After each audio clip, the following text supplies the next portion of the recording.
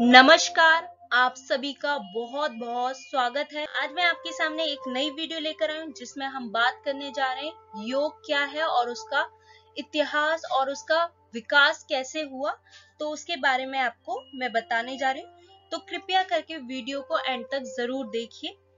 तो शुरू करते हैं, योग क्या है, योग का मतलब क्या है? योग शब्द हमारे संस्कृत भाषा का शब्द है जिसका अर्थ होता है मिलन या संयोग। जब हमारा किसी के साथ मिलन होता है तो वो है योग। जैसे आत्मा का परमात्मा से मिलन होना, उसे कहते हैं योग। और हमारे बहुत सारे ग्रंथ हैं, जिसमें योग की अलग अलग परिभाषाएँ दी गई है। तो मैं आपको यहाँ पर दो ग्रंथ हैं, उनकी परिभाषा बताती हूँ, योग के बारे में क्या दी गई है। भगवत गीता, जो हमारी धार्मिक ग्रंथ है, जो आजकल बहुत ही महत्वपूर्ण है हमारे जीवन के लिए भी तो उसमें योग की परिभाषा क्या दी गई है? योग का मतलब है, चाहे कोई भी परिस्थिति हो, सुख हो, दुख हो, हार हो, जीत हो, लाभ हो या अलाभ हो, या आपको गर्मी लगती है या बहुत ज़्यादा ठंड लगती है, जो भी चीज़ें हमारे शरीर के साथ घटित होती है, जिसमें हम खुश होते हैं, दुख होते हैं तो उस स्थिति में जब हम सम रहते हैं मींस बैलेंस्ड रहते हैं, ना हमें सुख की अनुभूति होती है, ना हमें दुख की होती है तो उस बैलेंस्ड स्थिति को कहते हैं हम योग। जब हम हर प्रकार से सम रहते हैं, ना ज़्यादा खुश होते हैं, ना ज़्यादा दुखी होते हैं, जो एक नॉर्मल नेचर होता है, उस तरह से रहते तो वो है योग की परिभाषा। इसका मतलब है, आपको हर स्थिति में अपने व्यवहार को सम रखना है, आपका जो भाव होना चाहिए वो सम होना चाहिए तो उसे कहते हैं योग भगवत गीता के अनुसार, समत्वम योग उच्चते श्री कृष्ण ने कहा है, जब आपकी स्थिति में कोई भी बदलाव हो तो उसमें जो आपका भाव होना चाहिए, वो सम होना चाहिए तो उसको कहा गया है समत्वम योग उच्चते ये है योग की परिभाषा। और हमारा दूसरा ग्रंथ है योग दर्शन, पतंजल योग दर्शन। इसको महर्षि पतंजलि द्वारा लिखा गया है तो महर्षि पतंजलि ने योग की परिभाषा दी है। जब चित्त की वृत्तियों का निरोध हो जाता है तो वो है योग। चित्त की वृत्तियाँ मतलब हमारे मन में जो भी विचार आते हैं, जब वो रुक जाते हैं, एक हमें मोक्ष की प्राप्ति हो जाती है मीन्स हम समाधि की तरफ़ चले जाते हैं तो उसे कहते हैं योग। मीन्स उसमें हमें कुछ भी विचार नहीं आते, हमारी एक शून्य विचार हो जाते तो उस स्थिति को बोलते हैं योग। योगश्चित वृत्ति निरोधा। योग सूत्र में दिया गया है तो ये इनकी डेफिनेशन है योग की। आगे बढ़ते हैं, जानते हैं योग का इतिहास क्या है और उसका विकास कैसे हुआ? जानते हैं कुछ ऐसी बातों से कि योग हमारा कितना पुराना है। कहा जाता है, भारत में जो योग की परंपरा है, वो पाँच हज़ार वर्ष पुरानी है। और भगवान श्री कृष्ण ने गीता में योग की भी परिभाषा दी है। पूरा ग्रंथ आपका योग के ऊपर है। उसमें 18 अध्याय और 700 श्लोक हैं, जो योग के बारे में कहते हैं, जो ये सिद्ध करते कि हमारा योग कितना पुराना है। और भगवत गीता को योग शास्त्र भी कहते हैं। हमारे प्राचीन काल में कुछ ऐसी मूर्तियाँ मिली हैं, जो योग मुद्रा में ही है। दूसरा यह है कि सिंधु घाटी की जो सभ्यता है, उसका भी संबंध योग से है। हमारे बोध या जैन धर्म ने भी योग के लिए बहुत सारा कार्य किया। उन्होंने भी योग का ज्ञान एक दूसरे तक बांटा।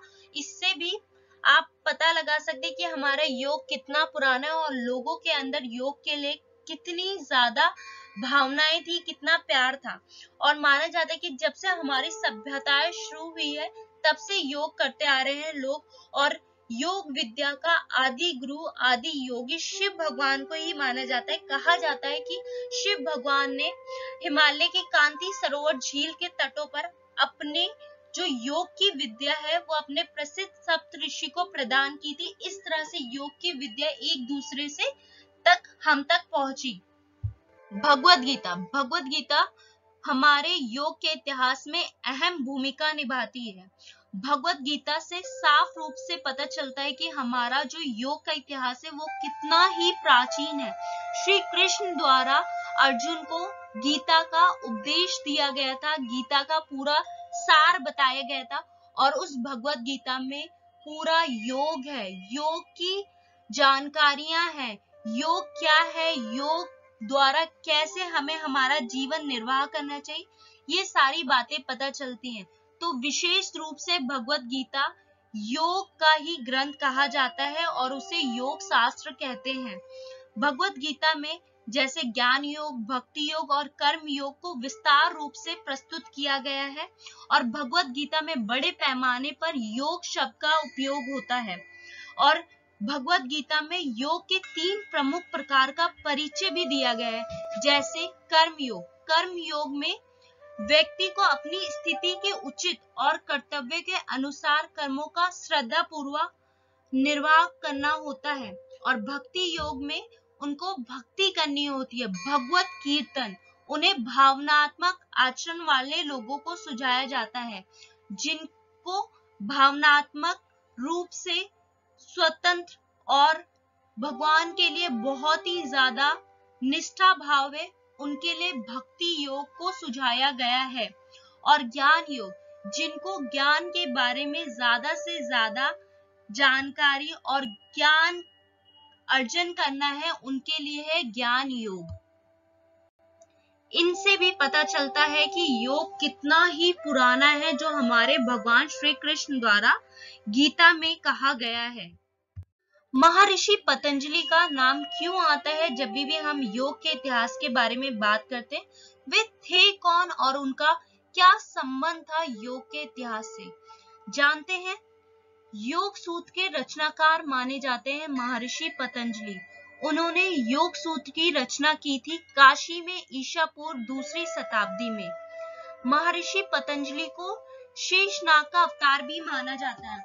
महर्षि पतंजलि ने अपने योग सूत्र के माध्यम से, उस समय जो भी योग की विद्या थी, ज्ञान था, उसको अपने योग सूत्र में इस प्रकार से व्यवस्थित किया कि जो हमारे लिए आज देन है वो उनको पिता भी कहते हैं योग का, वह जनक है हमारे योग के। महर्षि पतंजलि का जो योग सूत्र है, वो हिंदुओं के छह दर्शनों में से एक है।